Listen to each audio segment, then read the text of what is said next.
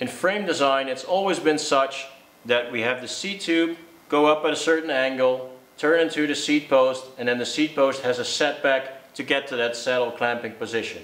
When you think about that, it doesn't really make much sense because that setback adds weight to the seat post, and really all you want to do is you want to connect that bottom bracket to that saddle clamp in the most direct way possible. So what we've done is we've drawn a straight line from the bottom bracket to that clamp, and then we've aligned the seat tube with that line. So the seat tube is a little bit slacker than it is on a traditional frame, but it means it pointing directly to that saddle clamp, meaning you can use a lighter seat post and therefore a lighter overall system. Because the frame weighs the same, the seat post can be lighter, overall a lighter system. And in the end that's the goal. The goal is not just to have a super light frame, but to have a super light bike.